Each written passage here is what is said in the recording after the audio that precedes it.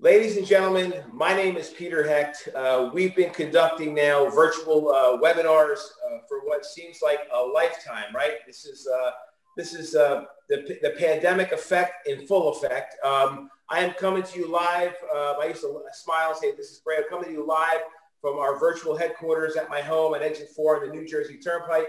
It's not so funny anymore. I'm still here. I want to get out of my house really, really bad. You have no idea. Three kids, uh, three dogs. My, uh, my wife and kids have decided to do some renovations. So we've got some construction people here. So I'm locked up in my gym, but you can't tell because I've got this awesome Magna virtual background. Um, so here I am. I'm loving life, uh, COVID free, still trying to dodge the COVID bullet, keeping my fingers uh, crossed, hoping everybody's healthy. For those of you that have never attended a Magna webinar before, uh, these are free educational seminars. Uh, and we have some fantastic guests with us today. And before I get to them, I just want to give you all a brief introduction to Magna. Uh, you know, pre-COVID-19, we would do these in the bricks and mortar environment. We would do these at your firm. Uh, I would host uh, some really great events in Las Vegas and Miami and Atlantic City, uh, Atlantic City, New Jersey. Yes, Atlantic City can be fun and can be safe. Um, and through those events, I would meet a lot of new people, and so would our, our folks in the sales group. And we would get a chance to tell you about all of our great stuff, like our our, our deposition services, which by, by the way uh, is 95% all virtual today and it's continuing to be virtual. And we do not charge for our virtual platform like some of our competitors. So you should call your uh, Magna sales reps if you're interested. Uh, we do record medical record retrieval services, Paul, in case you didn't know that. You know, you should give me a call and order some records up for anybody that gets injured. You need a police report, an MRI. We got you covered. We bought RecordTrak uh, about a year ago. Uh, we've got some incredible, incredible bandwidth. Um, we want to do a remote arbitration, a bench trial, a mediation. Uh, we've got the platform, the technicians. We've got the exhibit experts. We know how to do all that stuff. stuff. And, you know, traditionally in the bricks and mortar environment, none of this stuff really existed. Um, and so this is the way I'm going to communicate it to you through our webinars. What you're seeing here today is how we would actually conduct a lot of these virtual depositions. Um, and then we are also an ALM award-winning um, online jury research uh, company and visual communications firm. You're going to meet my colleague, uh, Scott Horwitz. He actually heads up our visual communications group. He's uh, hailing from Chicago, if you couldn't uh, guess from that little uh, bean or whatever that is behind his head over there. Um, we know that Pete is, uh, is out on the West Coast, and you know he is um, the premier expert in construction defect cases and and this is our second time coming out together. So I'm really excited uh, to see you, Pete. And then last but not least is a uh, old friend of mine and somebody that just reminded me about, you know, the sad state of where we are today is Aileen Schwartz. And Aileen, uh, Aileen and I go back many, many years. Uh, I chased her uh, over the internet uh, to try and be a speaker at my conferences. She played hard to get for a couple of years, and then finally she came to our one of our Chop for Chop events where we raised money for Children's Hospital of Philadelphia, and we've been BFFs for a very long time. And she was so gracious to actually be one of the first panelists on our uh, pandemic webinar webinars, which unfortunately was a year ago. And so she's back on stage with us again, coming in from exit four off the New Jersey Turnpike as well. No, she doesn't live with me. She's in Cherry Hill. I'm in Mount Laurel. So um, that's all I got to say, Paul. I wanted to give a little plug for Magna because I can't come to your office and take you out for a drink yet, but I will be, and so will my sales folks. So, Paul, the floor is yours, and I will see you all at the end of the hour. Thank you. All right, Peter, great. That uh, awesome intro. Thanks to uh, everybody who's joining us today. Um, my name is Paul Danner. I'm a, a, an attorney with Goldberg Segalla. I'm resident in our Newark office and I head up our construction defect practice. Uh, we, we have a, a uh, national footprint. Um, I'm primarily in, in New York, New Jersey, tri-state area, uh, but do handle matters uh, across the spectrum. Um, we, we, have a great cross section today. We're going to be talking about analyzing and monetizing construction uh, defects. Uh, Pete, Peter Hecht gave a great little intro to everybody, but I'm going to kick it over to Pete Fowler just to give us just a couple words. Pete? Hi, everybody. I'm Pete Fowler. Uh, happy to be here. Uh, my business is called Uncreatively Pete Fowler Construction. We, uh, we have an office. We started in Southern California. We, uh, we in 2005, we opened an office in, uh, in the Pacific Northwest in Portland. We've got uh, an office in um, Nevada, and Texas and Florida. So we, we work in all 50 states, but uh, we've got, have physical people and offices in those other spots.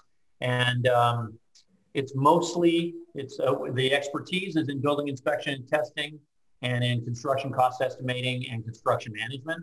But it's 80% claims and litigation based on the expertise there. So lots of construction defect litigation, lots of property and injury claims, lots of construction contract claims. So anything that makes people sad about buildings, we work on. Uh, Aileen, you want to go? Sure. I am uh, Senior Vice President, Senior Corporate Counsel U.S. and the Privacy Officer at Hill International. I have been here at Hill for now almost 13 years. I can't believe it's been that long.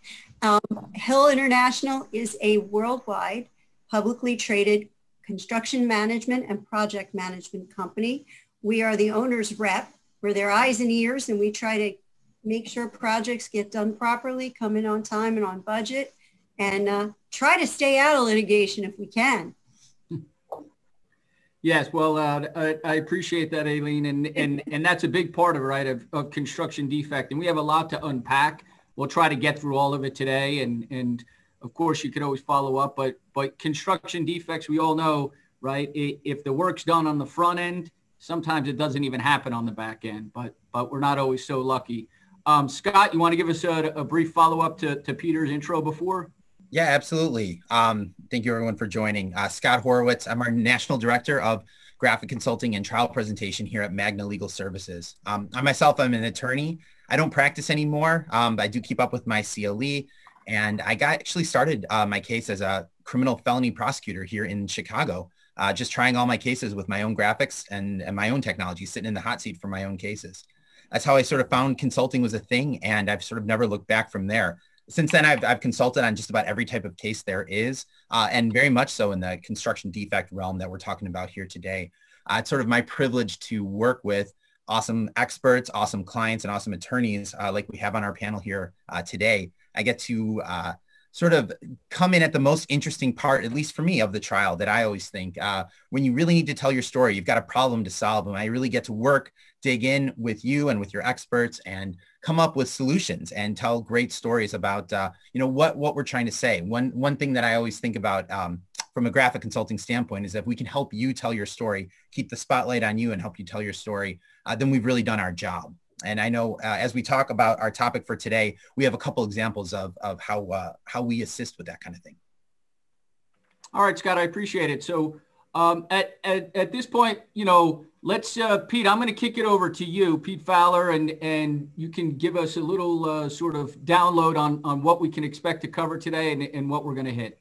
Yeah, Scott, if you want to put up slide three, you can. If not, just, uh, you know, I, I do, I like the talking head uh, like we're on, like we're on the TV news. Uh, it's, it seems, uh, seems compelling. But um, the, the issue here is we're trying to do a 30,000 foot view because it, I, people get lost in the forest of construction defect cases. I've been seeing it since, you know, I started working in construction defect uh, in the 1990s. I, I, was an old guy because you can see I, I all of the, all of the people I used to meet with in person or just on the phone, they had no idea I used to be a rock and roll guy. Now everybody's like, "You play the guitar?" So I, didn't get out of college until I was deep into my 20s. And but so and I went straight into construction defect, and I immediately saw that people just didn't understand that you know most lawyers are terrible at math. I didn't know this. Um, I, I, learned this being a cost because I'm a cost estimator. So connecting, um, in particular, connecting problems with construction directly to the cost. Right, we're going to break down.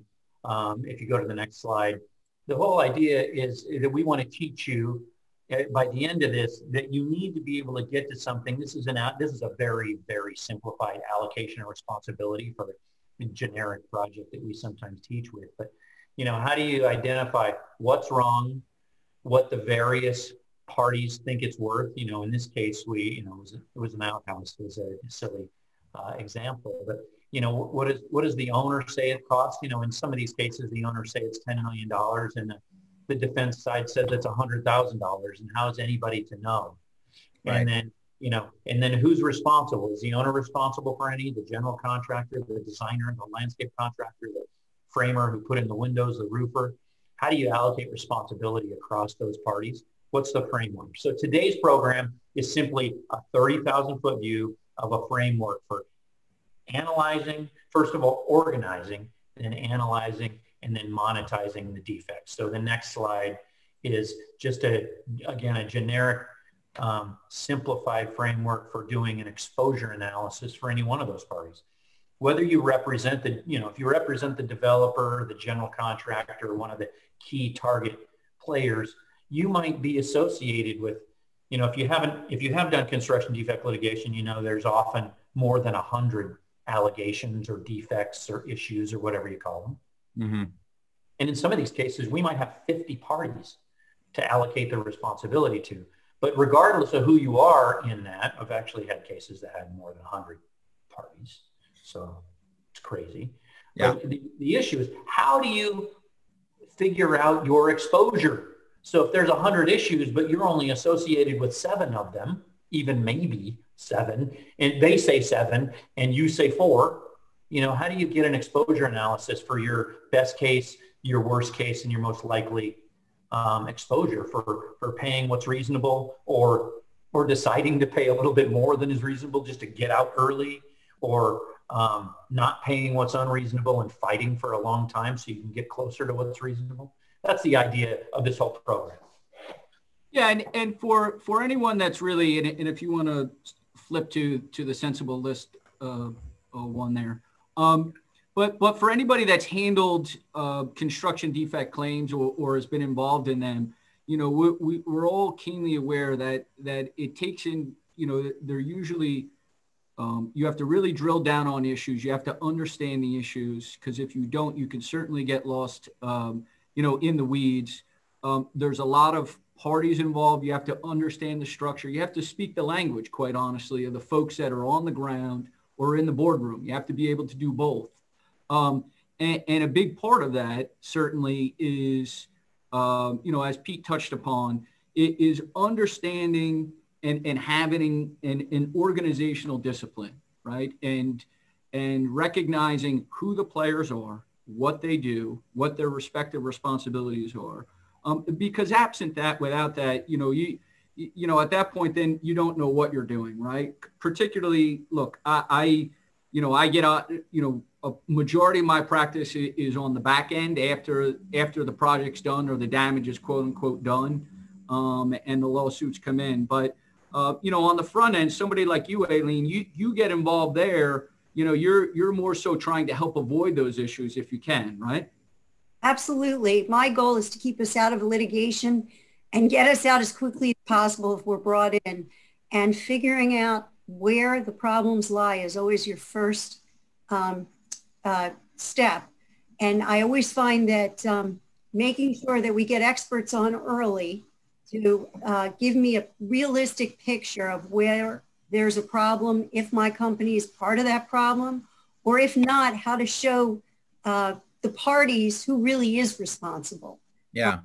And I find that, that getting the experts in early really helps me with that, getting an idea. I've had cases where uh, we've been brought in there are no damages against us. So we're just dragged into litigation for no reason. And I, I need those experts because if there are no damages, there's no case against us.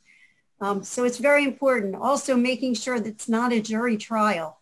Nobody on a jury wants to listen to your construction defect claims. They're falling asleep. That's the problem. So you really need a, a judge who knows what you're talking about to hear the cases. Um, and trying to get that negotiated early on is, is very important to me. And um, also looking at the forest for the trees, making sure that if you get out of it quickly, get out. There's no reason to spend a fortune in litigation if a small amount towards the fix will resolve the situation. So early on, we try to get into mediation, try to see if we can bring the parties together to figure out what the fix is, convince the owner you know, what fix is realistic and how to move forward to it rather than spending all the money on litigation. And, and that's just a practical outlook. A lot of times you can't get out and, and obviously that's when you need Magna, you need Paul, and you need Pete. Yeah. I mean, it's actually funny that you say that too. Um, our, our consulting practice, so not just graphics consultants and trial technology consultants like myself, but our jury consultants as well. Uh, we're getting involved, especially during the pandemic now, but but even before then, more and more on the early side of things to test theories and test themes, just like you said, if maybe a small amount of money up front uh, is going to take care of all of this, you know, so we have we have consultants and we have products like our jury evaluator product that can really, it's not necessarily even for a jury trial, but can really help you assess what your damages are or could be, help you assess your exposure, help you identify themes early. Uh, for someone like you, Pete, like an expert, um, I know you were talking about getting in your experts early. It's really common for me now to work with someone just like Pete early on, help create the, the type of graphics, even if they're very kind of simple ones that are going to get used in your expert reports that are going to then sort of seal the deal in an early mediation or even in a motion for summary. And and I just want to say, a lot of times the owners of uh, proceedings you're yes. talking about. A lot of times the owners are unsophisticated. You're dealing with public entities. Having the photographs, having the, the visuals to work with the experts, it makes all the difference in the world, especially early on at mediations or conferences to try to get all the parties on board. Yeah. Yeah, and, and, I, I, became, I, think, I, became, a, ahead, a fairly well, I became a fairly well-renowned expert by writing the first national article uh, that, that I know of still to this date uh, that got published on the subject of construction defects. And when, when I was writing that article, the, the, the editor yelled at me. He said, Pete, stop using 25 cent words. We're going to dumb this thing down to 20 to, to the fifth grade reading level. And I thought, boy, these construction guys are stupid and just didn't think much of it until the article got published and all my lawyer friends and clients called me and said, you know, what a great article. It was such a smooth, easy read. So even people who have plenty of brain capacity to read at the, you know, whatever, doctorate level prefer to be spoon-fed the information. And I'll tell you, the, the, the work that um, Scott has done in putting these presentations together, uh, we surely my office has spent time, more time and more money than it would have cost for them to just do it right the first time, right? Well, yeah. Thank you. And and you're totally right though. But keeping it simple is what it's it's what it's all about. I mean, you should be able to explain it to like my fifth grade daughter, let's say, and and, and spoon feed it and and take something that's as complex as some of the issues that we're talking about and keeping it simple and straightforward. Because if, if someone can get your message in about five seconds, uh, then I think you're going to win your case. The mantra in my office, and it plays to the next section that we're going into about making a sensible list. The mantra in my office is explain this to Pete's mom. Because my mom's a very smart person, but she didn't get her high school equivalency until she's 48 years old. And I actually have the picture of her graduation, 48 years old. She told my daughter. And I say, I say to consultants all the time, my mom has no idea what you're talking about. They're like, oh. So they have to go back and you know work on continually explaining it in simple language that a, a non-engineer can understand and use to make a smart decision. Yeah. And then I think I think sort of what we're talking about and, and kind of globally is the idea, and this is this is kind of the first half of, of what we're talking about is is analyzing these claims, right? And and yeah. doing the work on the front end um, so so that we can understand and, and begin to develop right? Where we're going, what what we're going to do, and how how each of us in our respective roles are are sort of go, going to help bring resolution, right? Because because ultimately we're problem solvers in our own ways, right? We, we we may we may have different we may be solving different problems. We, we may not be on the same side of the ledger all the time, but we're problem solvers. And so if you don't understand the problem, if you haven't done the work on the front end to to, to break down that problem, to, to make it understandable to folks. So, so quite honestly, that you understand it so that you can have a conversation with your own clients so they, they understand that you know what they did and, and can explain to them why it is that, that you're in the situation that you're in and, and how, and how you can help them get out of that situation. Um, whether it's Aileen, as you said, trying to do it you know, from an economic perspective at an early stage, which I'm a big proponent of, certainly. Um, and or, or if it's something else where you have to develop a detailed litigation strategy where you know you're doing a deep dive with somebody like Pete um, at every stage so he can help work you through that and then you, you know you're weaving in the services and the benefits that that Scott can provide for you. So Scott, show that those next couple slides. I'll bash them real quick, but you know, the, the, the importance of making a sensible list of all of the defects or the allegations or whatever you, causes of action, whatever you call them, making, making a very sensible list is very important. And, and, and this is a, a very famous engineering quote that a problem well stated is a problem half solved. So it's do you have a, a, discrete list of issues? And I don't care if there's one issue or there's hundreds of issues. And we every year we work on projects that have one issue, and every year we work on projects that have hundreds of issues. Usually it's in the somewhere between five and 50. That's the number of issues, but that's a lot, right? And so, you know, Paul and I were talking earlier about when you sit down, say you sit down with the client and the client starts just verbally vomiting you know, well, we didn't do that wrong and we did that wrong and the guy told me to do that. And it's like, whoa, whoa, hold, hold on. I have to take each of these pieces of information and I have to put it in a sensible place. The first thing you just rattled off was associated with my issue number 17. Hold on. The second thing you rattled off was issue associated with my issue number two. I've got to get this information and take it and hang it on this um, logic structure so that I can then analyze it and then so each issue needs to then have a price, right? You have to have a cost associated with the issue. So we've got a sensible list of issues, a sensible list of costs that are perfectly associated with each other. Then we make a sensible list of all the people that might be involved with each one of those issues. You know, it's like, okay, issue number one is associated with party number one, five, seven, and nine. Issue number two is only associated with party number 17, right? I mean, it gets to be this giant horrible matrix. Um, go to the next slide. You also have, you got to make a sensible list of the timeline of events. By the way, I'm such a lunatic. I didn't make this slide personally. Somebody made it about me in my office. If you click the, the, the graphic one more time. So because I'm such a crazy person about getting these things distilled so that we can explain them to my mom, then everything gets better. When we, when we explain things, simply and sensibly. Um, so again, issues and costs, timeline, players, all the players listed so we know who did what, when, and where.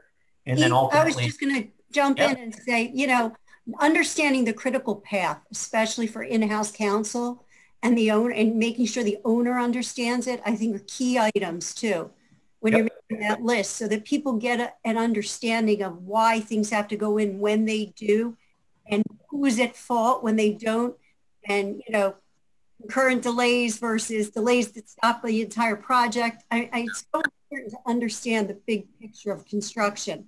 And a lot of people come into this like me without a construction background. I, i've now been doing this most of my career but prior to law school i had no no understanding really of that. And, and, I think we all have to assume when we go, say we go into a mediation or we go into a, a situation that has more than two people in it, yeah. somebody doesn't know anything. I use this term, I say, this is going to seem irritatingly tutorial, but I'm going to read to you what we call our one minute summary. And sometimes we spend an hour talking about my 200 or 300 word summary. They're like, yeah. that's not true. Yes, it is. Or I'm wrong. I don't know. I got the information somewhere else, right? It's it's this go, and this goes back to Scott's simplification of the drawings. Or sometimes the first graphics are wrong, right? You're like, well, that's what the plans say. Well, that's not how we built it. Yeah, yeah. I mean, that's right. And a lot, a lot of times, you know, you you you start with the plan, and, and they're very complex. Uh, and and what we'll do then is you know, we'll either trace it or we'll simplify it. We'll fade from the original plan drawing into something much cleaner and much more simple. And I've got a little, I've got some previews of, I, I guess that's a preview of some of the things that we're going to be talking about soon.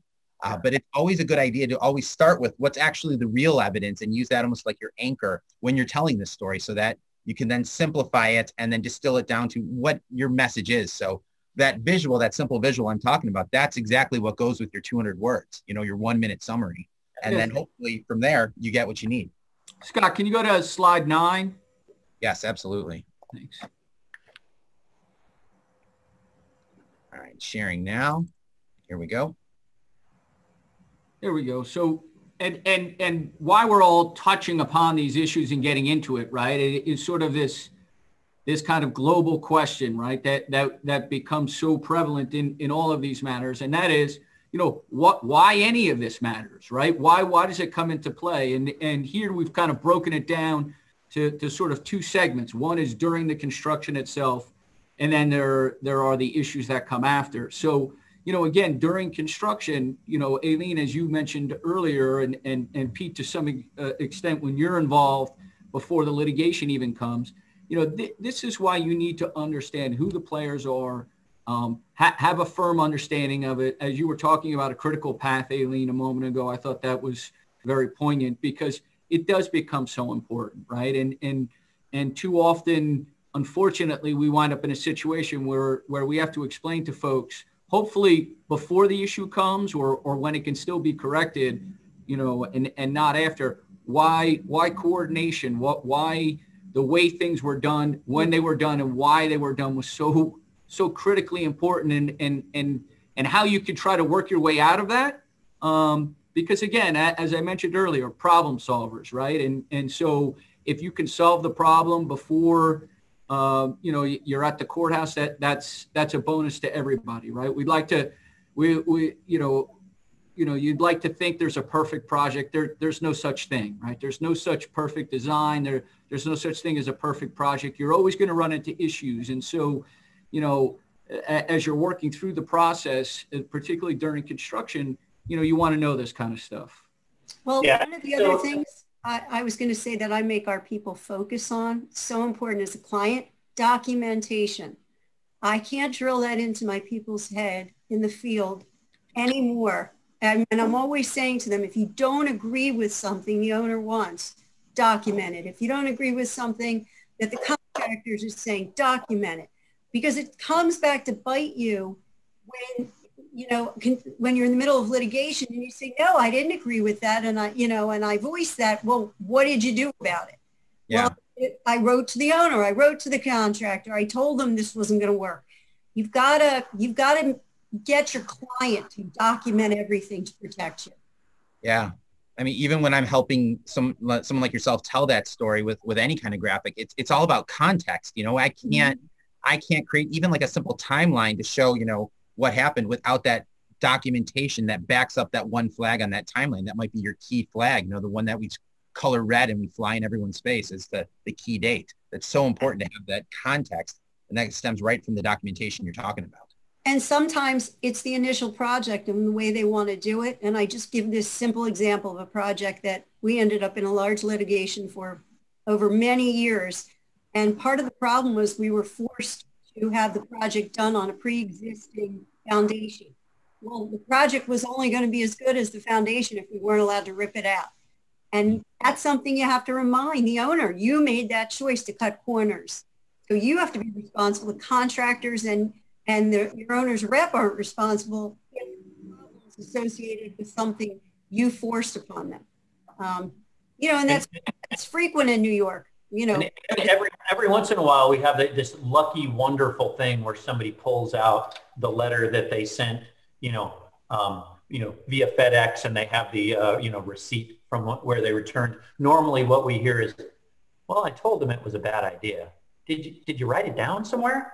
Right. No, I just told them. And the and, and the, the again the issue about having a sensible list of all of these things, being able to take you know so normally we have defects at interface conditions, right? Where the roof meets the wall, where the mm-hmm. where the wall meets the window system, where the window system meets the foundation. And if we have, if we can touch on, okay, you know, and, and what Scott's saying, he takes the plans and he says, here's what was in the plans. And he translates that two-dimensional drawing into a three-dimensional drawing that normal humans can understand. Mm-hmm. And then, then we contrast it with what happened in the field you know, then we, you know, then we at least get down to just a couple of people arguing with each other. Well, you, I, you should have done that, and I couldn't have done this. And you, excuse me. Thanks. So that, that that's the that's the helpful part when we can really have all the information to contrast what what was designed, what was in the specs, what actually happened in the field, what was the consequence of what happened in the field, and then ultimately what do we have to do to repair that? That's the, by the way, that's the monetized part, right? So the analyzed part, and then, so we have this messy situation, you know, sometimes it's from a messy design, you know, and then it doesn't get fixed throughout the process. And then, okay, what are we going to do? What's the fastest, cheapest, most sensible way to move from where we are to the best available alternative? And that's what we try to create. And, and, then we monetize it. And that is we estimate the cost of you know, designing a new system, fixing what's there, you know, actually executing the construction, hugging and kissing goodbye. That's the monetized part. I mean, you're you're uh, what you're describing is almost like I mean, you're a fantastic storyteller, and and you have this gut punch, and it's like it's like how do how do I get you quickly to deliver that gut punch? And a lot of times, it's instead of providing all that context and all that messy stuff that gets you there, hopefully hopefully we're we're creating a really simple visual that does all that heavy lifting so that you can get to what is so important so fast. Yeah, and, and so really tell a thousand words. Sorry about and, that, Paul. And, yeah, the, the the and the natural the natural step is, as we were just sort of speaking on was was kind of during the construction, and then the next stage is sort of you know look you're at that that that point where it's litigation, right?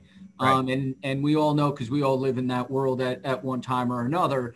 Um, they, and so once you're there, and Aileen touched on this earlier, um, and Scott too, based on on his experiences, that it, it really becomes a marriage between you know the, the, the client, in-house counsel, outside counsel, and the expert. Right? It's it. Everybody needs to be on the same page. Um, and it's critically important. And and in, in prepping for this, Pete and I had a conversation, and I was saying that, you know, once once I have my expert on board, even at an early stage, you know that that person becomes critical to me um, in, in putting together and developing you know what it is that i need to establish through the course of discovery or, or whether that's formal discovery or informal so that I, I, can achieve the best result for my client. And and without that you're you're spinning your wheels. And and i i i have found that particularly you know, so, some attorneys, I, you know, I think they get into depositions or other things. I think they lack focus. I, I think they're kind of all over the map. And, you know, uh, you know, quite honestly, for me, I spend more time probably talking to my expert before a fact deposition um, than, than I do necessarily looking at documents because the, the expert's going to tell me, Paul, this is what I've identified as the key issues. This is what I need to know. And if you can get me the answers to these 10, 15, 20 questions, then I'm going to be able to say X, Y, and Z. And based on those, you know, that that's based on those responses, that's when we'll be able to educate the client after that, right? And that's what's going to be able to help me, you know, draft my report in Pete's situation. And I, I think it's critical. I really do. Well, I, I think it's critical as the client getting the most honest response from my experts and my attorneys as to where the warts are. I want to know where we may have a problem. And if we don't, tell me who caused it. That's what I'm looking for every time because if it's our fault, well, okay, then, then we have to accept some responsibility, handle it. If it's not, then I need to be able to show the people who are coming after us for whatever reason.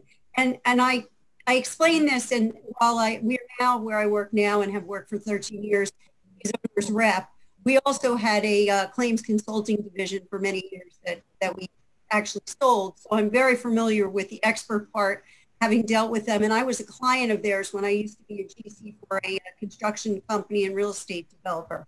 So I've been on every side of, of the project, from, from developing it, from being the general contractor or being the construction manager, from, you know, it's fascinating what you learn from the experts, what you learn from your attorneys when you're in the midst of, of litigation. Um, we talked previously about specs being wrong and, and, and how many houses had leaking windows as a result and problems with stucco and you know things that we've all been stuck in the middle of and right.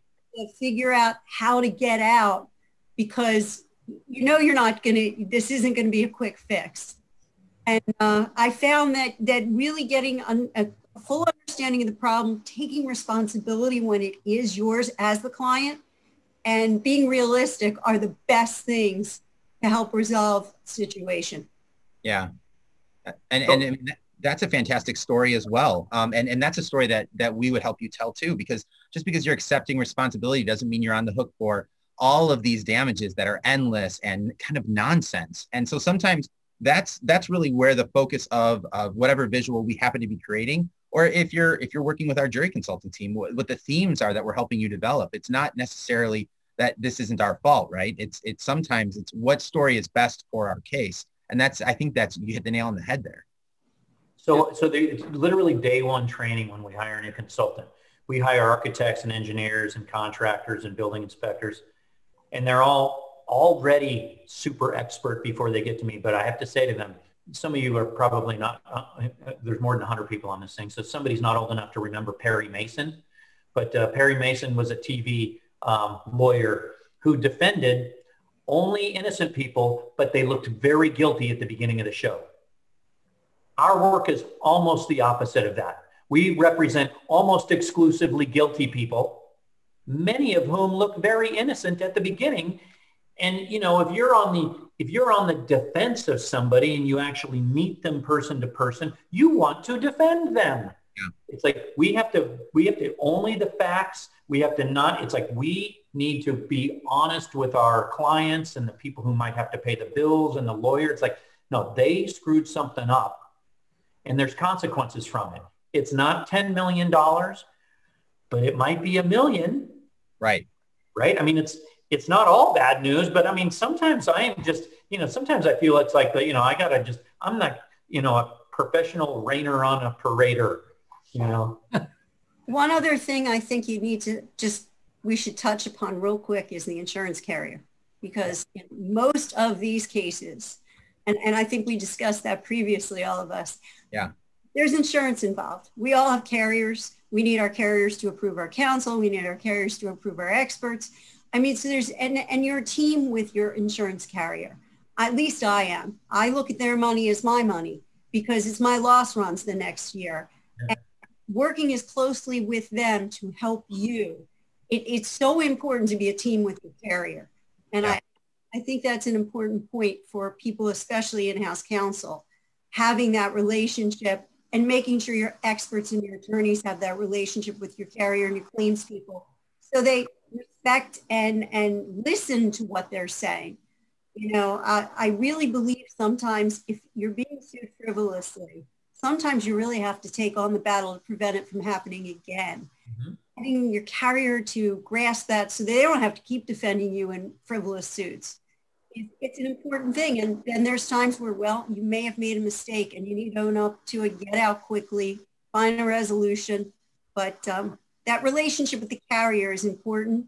And keeping in mind that in construction, there are very high SIRs and deductibles. Yeah, it's different now than, than when I started in this busy business 20 something years ago.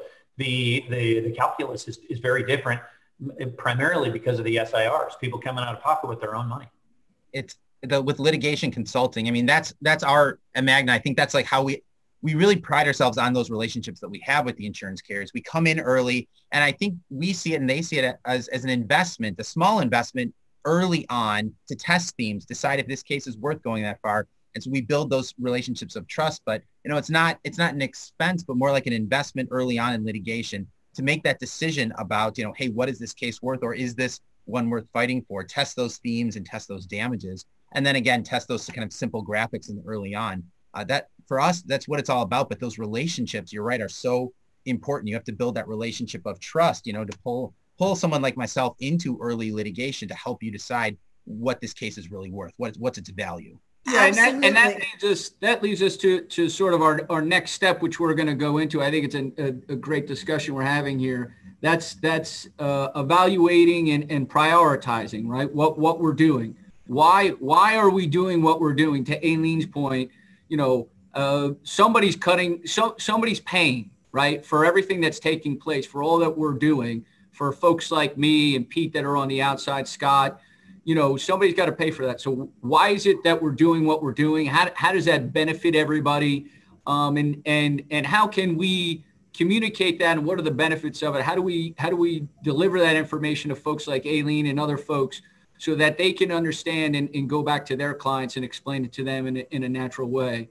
So, uh, uh, Pete, did you yeah, want to so jump? On the next slide just has my, you know, I, I, try and structure everything in it. You know, I try and make a sensible list, right? So, you know, we we first try and analyze a bunch of documents and information, and we have meetings with key people, and again, we're, we're very early creating a logic structure where we're taking, you know, I might read a deposition where uh, we, uh, this section two under meetings with key people. In litigation, you can't meet with them and ask them questions or interview them. in, in some cases when they're on the other side. So we're taking out a deposition testimony, but it might be like, okay, pages three through seven are associated with issue number 17, but pages 14 through 20 are associated with issue number two, right? And, and, and playing that match game to understand what everybody says about what every, every applicable issue there is. You know, there might be, we might work on a project that has 100 single family homes. It's very common. We might work on a high-rise building that has 400 units. And so then we have to really take pains to organize the building information. And then ultimately, once we can, once we understand what everybody's saying, where everything is physically, we can conduct very targeted and and, um, and thoughtful inspections. We do analysis uh, um, based on those inspections. We sometimes have to do testing, which is terribly expensive. By the way, lots of experts like to do a lot of testing, you know, because if you only have a hammer, everything looks like a nail. Right. Question the value of the testing. It's like if you're going to spend a hundred grand doing a test and it's going to save you 125 grand, I think you might not want to do that test. Right. right. But think about it. And then ultimately estimating and doing thoughtful reporting. But again, based on that sensible issues list, what are the dollars associated with each of them? If issue number one is worth a million dollars and issue number 17 is worth $17, you're hopefully going to have the presence of mind to not spend a lot of time on issue number 17. But I have seen in many, many, many circumstances where they don't monetize the issues until later on. And they don't realize, oh crap, issue number 17 isn't even worth our time to talk about. Let's focus on issue number one. You know, usually you know, if there's a hundred issues, and I've, I've done this at least 50 times where I literally, I take a, I make a list and say, the top um, 10% of our issues equal 94% of this estimate. I recommend we ignore the 90% of the issues until we're done talking and we never get done, right? Right. So if you really can home in on what is key, and if you do your work in a structured way, you can. Yeah, and and and I think um, if, if, we kind of spring forward, Scott, to number 14 at this point, um, when we're talking about sort of, uh, you know, really drilling down now on what the specific issues are and, and analyzing those those defects in, in and of themselves, it, it's, you know, at some point, what, once we get past the stage of, of trying to prevent issues, and they already exist, at, at some point, you know, there's an analysis that needs to take place. P- part of that will start with folks like me, right? I'll be I'll be working the paper. I'm I'm going to start with the contracts. I'm going to understand who the parties are, what what my client did, what their scope of work was. I'm going to I'm going to obviously focus on the indemnity provisions, which are so critical in these cases, mm-hmm. any insurance obligations, so that I can properly advise you know all the folks that are involved. But but also too, you know, once while, while that's taking place, there are folks like Pete um, and and Aileen, to your extent that that you know you're going out there, you're you're interfacing with the folks that are still on the ground and and figuring out, you know, where are we at? What can we do? How how can we you know, what is our quote unquote plan? You know, number two here. What what's our plan? What's our path forward? Let's just not run around and, and check boxes in an indiscriminate order. And I, I again, you know, I just find that in these type of cases, more than than almost any other cases, if you're not organized, if you don't have a detailed structure as to what you want to do, and I know Pete keeps coming back to it, and and I'm glad that he does because it is so important that you just have to you just have to move through things methodically when, yeah. when you handle these cases because if you don't, the spend gets out of control, um, and you're not really working towards what you're supposed to be doing. If I, if I can just touch upon, especially with, because you said homes, like single family homes, a lot of times you have plaintiffs lawyers, they hear about a, a, a some type of a defect, some type of a problem, rather than getting their clients the fix. They're more interested in blowing up fees, getting more clients. You can pull the carpet out from under them if you can figure out what the problem is, how to fix it, and offer that to the to your homeowners. Uh, it's just a much faster win-win. Your your company reputation is better, and you save a fortune in litigation. If you can say, to the, to the plaintiff's clients, hey, we know what was wrong. We realize there's a problem. We'd like to just come out and take a look at your house and see if we can tell you how we'd like to fix it. Right. And you can end the litigation there a lot of the time. If you know, and and I've been in the situation where a bunch of clients have dumped their plaintiffs' lawyers because all they wanted was their house fixed, and they got annoyed that people were churning fees.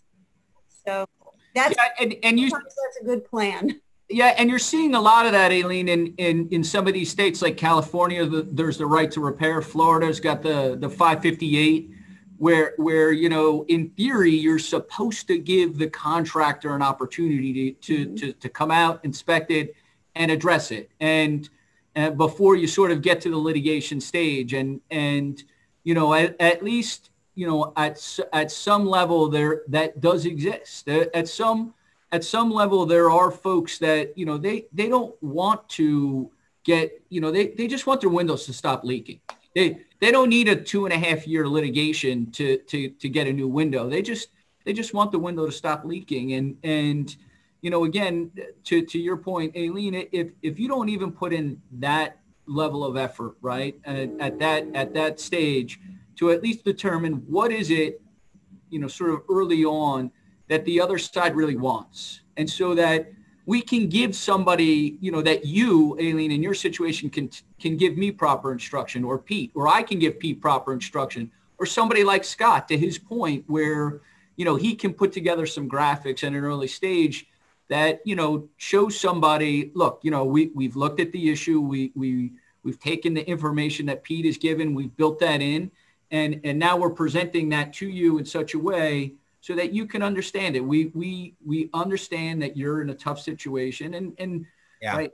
Let's be honest. Nine times out of ten, you know these things exist because there is a problem, right? There is a problem. The roof is leaking. The windows are leaking. The, the problem, right? It's right. so, exactly. so get lost in the forest, right? It, that's what happens. They get lost in the forest. Yes. So this, uh, this, your, your graphics on this case study that we have are, are excellent. I'd, I'd love for you to show those. Yeah. And, and, I would just say one other thing and showing empathy and the fact that you care that their roof is leaking and their windows are leaking and they're uncomfortable and that you care enough and you're listening, just listening goes yep. so far. Yes. You're totally right. I'm going to tee up those graphics right now, Pete, if you want to talk about the case study. But before you yeah, get yeah, this, this just happens to be a, a, project we worked on where there was a $7.2 million educational facility that was qualified as LEED platinum and it was net zero. So that is they make as much energy on site uh, over the course of a year as they consume. Um, and so the, um, the owner, the school district, they paid about twice as much as the national average uh, for this facility.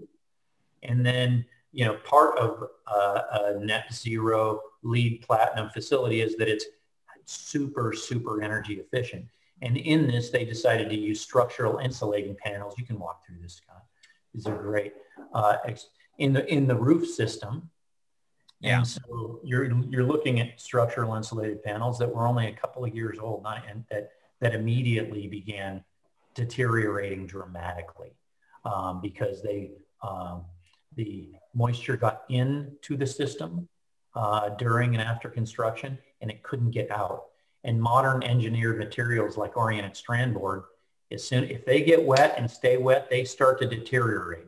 Yeah. Right. In an old building, I used to own a house that was built in the 40s and it had old growth redwood timber and it leaked, you know, the air blew through the place like hell. So it, you know, it was like mold remediation by the wind blowing through you know, wood can get wet as long as it doesn't stay wet too long.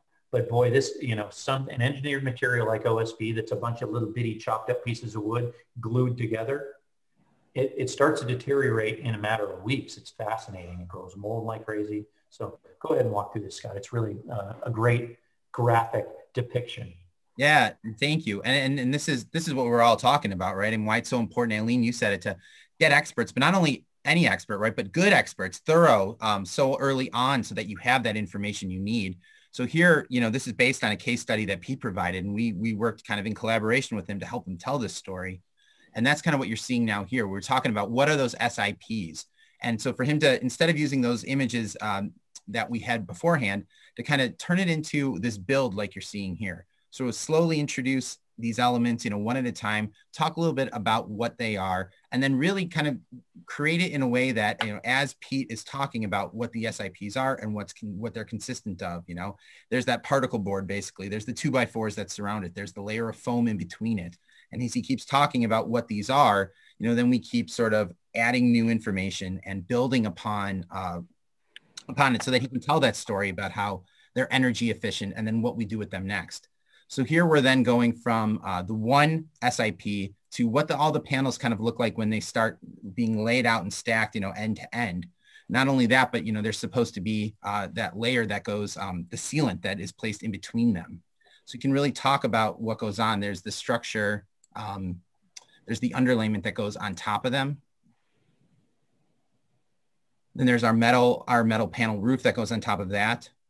And then all of those, you know, are contained in the roofing. So the entire facility that you're seeing here, you know, we go ahead and take our photo and we really highlight just where it is so that Pete can, again, really zero in on what we're talking about and why this is a net zero property. So now for him to explain what so um, what happened here, what happened in this case, again, so that he can deliver that gut punch, you know, what, what this case is all really about. We try to create graphics like this that you're seeing here to help him do that heavy lifting simple illustration, something that you could tell that fifth grader, or like Pete says, eh, you could tell his mom, talk to his mom with this one. But do a simple build with some illustrations to show, hey, panels were left out in the rain. The membrane was never applied. Uh, the membrane was never applied so that uh, things started to get wet. And then, you know, as things were getting wet, uh, was starting to build in from the below because the sealant was never applied in between those SIPs. So first we show the way it ought to be, the way it was supposed to be. We kind of identify what the problems are. And then we very quickly talk about, you know, hey, the panel should have been covered properly. You know, hey, again, number two, the panel should have been completely dry. And then number three, that sealant should have been applied in between the layers. So that way, you know, now here's our gut punch, right? And although, you know, I tried to talk real fast because I want to be mindful of our time, uh, you know, Pete can do a lot of the heavy lifting with slides like this. So we can get to this last slide here and he can really deliver that gut punch. Or you, you know, as the attorney, the presenter, if this actually does see the light of day in a jury trial, you can deliver a gut punch with a slide like this as well. It really is going to hammer home your point and explain what happened in this case. Yeah, and and actually everybody's in for a treat because Pete, we're gonna have you go ahead and grab a guitar off the wall and give everybody a little uh, sing know, a little, a little song. Yeah, no, we're we're gonna spin forward now to we're gonna talk about budgeting, um, and in and in particular, um, Scott, why don't you bounce ahead to the to the roles and responsibilities um, section of it, and and this, you know, when when we're talking about budgeting and and um, construction, and and certainly we understand it on the front end, right? Um, so much of it goes into it. And as Pete mentioned, he was a cost estimator uh, previously, and, and he's an expert cost estimator now. Um, but but a big part of it too is, is, sort of understanding, you know, who who everybody is at the site and how they sort of come into play um, when when um, you know you're trying to evaluate.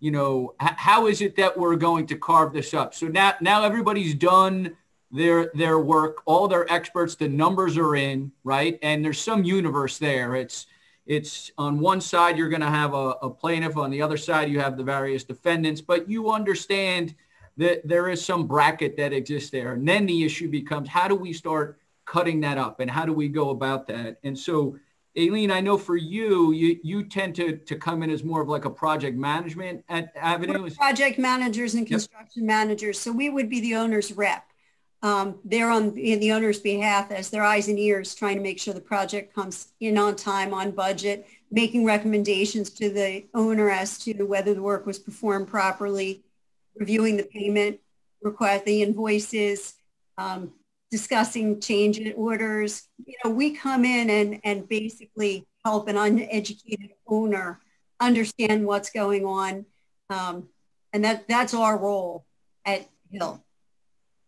And in some circumstances, you know, we've represented owners' representatives. We do it all the time, but we've represented them where um, where they've taken a lot of pictures of super bad work that they should have gone, whoa, whoa, whoa, what are you doing? And they didn't. Right. So I mean that that's that's the circumstance where, you know, where an owner's representative is like, yeah, we better give them some money, right? Or we, we're, we're we've also had circumstances where they've taken pictures of bad work and they've, you know, shown it to everybody and gone, whoa, whoa, whoa. And they're like, we're in too much of a hurry. We got to just finish this project. That's a get out of jail card, right? As long as you as long as you documented that you said something and you showed it to, which is why I push push documentation. Come on, if you see something, put it in writing. Cover your butt. So we haven't gotten to any questions yet. Let me let me answer one. It says, is the owner the same as the developer in connection with building a, a single family spec house? And in, it's a very smart question because we what we call we and we rep, regularly represent the largest home builders in the country. So we call them the owner, developer, builder, seller.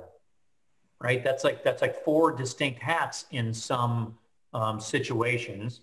But in some, if they're direct selling to the consumer and they owned the dirt and they designed the building, you know, so, yeah, so sometimes they're the owner, developer, designer, builder, seller.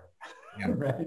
So that's a lot of hats that um, that a that a, a national home builder or, or, or smaller ones might might wear. So and again, this this takes us to sort of you know assessing damages then, and, whether or not we're even talking about fault and we're talking about roles and responsibilities. That's another um, message or story that I get asked to sort of help uh, tell. You know, when we get to any stage of litigation, but it, very much so in the early stages. And I think that's one of the things. You know, Pete, you put together these flow charts that we're seeing here, and we worked with you to kind of create uh, sort of a flow chart that you might use if you were giving a presentation or if you were testifying. Yep. Let's so see it.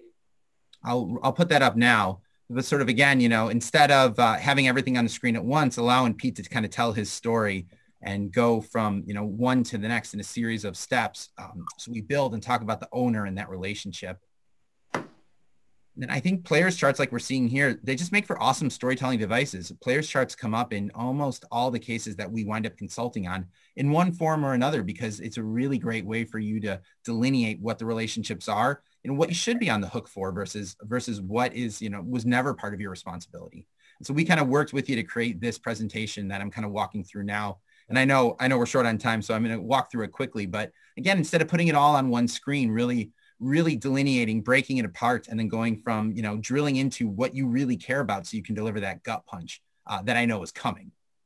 It's great for showing privity of contract too. Yeah, right. that, that's that's what I was going to say, Aileen. particularly from my perspective, I I I find it very useful because again, as I mentioned earlier, for someone like me, I start with the agreements, right, and that's that's what's so critical is, understanding how, how it's going and how the flow is is working from it um, and and understanding privity, as as you said, and and who are the folks that potentially could be related to a particular aspect of it, right? And and, and how do you get, get indemnification? Well, yes, and we, as I said, we uh, it's a it's always an issue. It comes up in every single every single one of these cases, no matter what, right? Because at the end of the day, it's um, you know we, all this stuff costs money, right? And and as a result of that, there's always someone believes whether they're right or wrong, they, they want somebody else to cut that check. And, and those provisions, you know, are, are critical. Um, so um, with, with that, we're just about at five o'clock. Um, you know, I think we got a lot done. And uh, Peter has, has, he's probably just finished up his workout. It's good to see he's still got his uh, jacket on there, you know, and uh, Peter, you want to take it away? Yeah, I've been eating. Um, you can't see, but I've been eating Twizzlers, and I've been enthralled in this topic. I think it's. I think it's been a great discussion group. Um, I've also been trying to adjust the lighting. Uh, it's funny that you say, my working out?" I'm, I'm, actually in my little office. That's a little gym. Um, it's the only room I have uh, that, that, I can get some privacy for these meetings right now. I actually drive um, down to the Jersey Shore every day to work at, a remote location. So it's 50. It's a it's a bigger commute than my commute to Philadelphia. Uh, but anyways, guys were great. I digress. I, you know, you know, once I get yapping, I can just keep talking about myself forever, and then you know, people just tell me to shut up all the time. But um, I love it, uh, Paul. You were great. Goldberg, Segalla, you guys are fantastic. Um, if you got, you know, uh, to everybody out there, you know, you've got a claim, you've got a case that, that, that's complicated construction defect litigation. You know, you should be, uh, you know, putting uh, Paul Danner uh, on the speed dial and reaching out to him right away. You need an expert. I mean, do I need to even say anything about Pete Fowler? I mean, the, the guy's incredible, right? And not only that, he knows how to jam out. He's got those great guitars, so he'll entertain you and he'll he'll help you, uh, you know, kick the adversary's butt really, really well. And um, if you want to see a phenomenal speaker in the flesh, now you've seen her virtually, put down October 7th for our first bricks and mortar event that I am keeping my fingers crossed will take place in Miami at the W in South Beach. Come see Aileen and, and many other folks, um, and you, you will be very happy to be out of the virtual world. And uh, you know, hopefully we'll be at a, at a point, Paul, where if we're having a drink and I spit on your face, it won't kill you. So, you know, uh, we're hoping to get there, Aileen. Uh, Aileen just got vaccinated, you know, yay, yay for you. And last but not least, um, I want to thank uh, Scott Horwitz. Uh, this guy is, a, is really just amazing. Uh, so, uh, Paul, you know, I'm going to put the pressure on you. You should hire him and hire him early and often. And everybody else should hire him early and often. Uh, thank you so much. Uh, keep your eyes and ears open for more events. And this is a message to all the, uh, the folks that are watching virtually. If you've got a topic in mind, if you've got a, an idea, something that you want to try out, give me a call at 732-331-2410. That's my not my toll-free number. That's my signature number. Call me on that number. Let's talk about the topic. And if we can put together a panel, I'll definitely do it. We try to do these about every other week. Um, and we saw about 4,000 folks last year in our web, webinars. So Paul, thank you again. Peter, thank you. Aileen, thank you. Scott, thanks for making the great graphics. Have a great night, everybody. Thank you.